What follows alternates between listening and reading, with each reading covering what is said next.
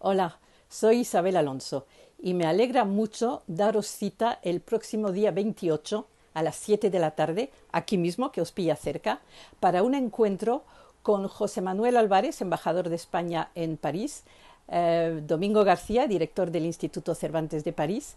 Eh, el tema doble cultura, doble idioma, doble identidad, o sea, la vida panorámica.